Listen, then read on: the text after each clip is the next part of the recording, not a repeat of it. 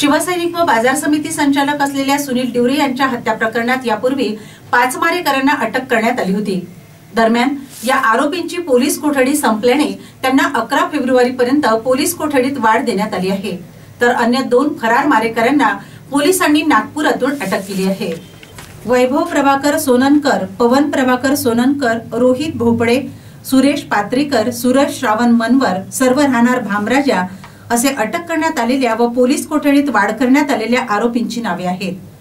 तर रामू किसन जयस्वाल अमर किसन जयस्वाल असे नागपूर येथे अटक करण्यात आलेल्या आरोपींची नावे आहेत. शिवसैनिक व बाजार समितीचे संचालक माजी सरपंच सुनील डिवरे यांच्यावर तीन फेब्रुवारी रोजी गोळ्या व कुऱ्हाडीचे वार करून हत्या करण्यात आली होती. या घटनेनंतर शिवसैनिकांमध्ये प्रचंड जनक्षोभ निर्माण झाला. या घटनेत एकूण सात आरोपींचा समावेश होता.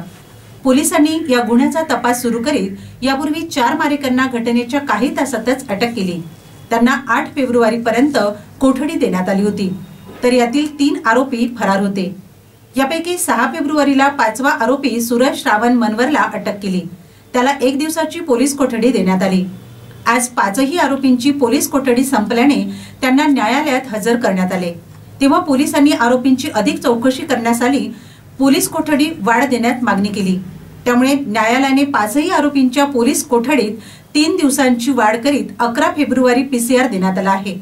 तसेच या घटनेतील अन्य दोन फरार आरोपी जयस्वाल बंधूंना ग्रामीण पोलिसांनी आज नागपूर येथे अटक केली. उद्या या दोन आरोपींना न्यायालयात हजर केले जाणार आहे.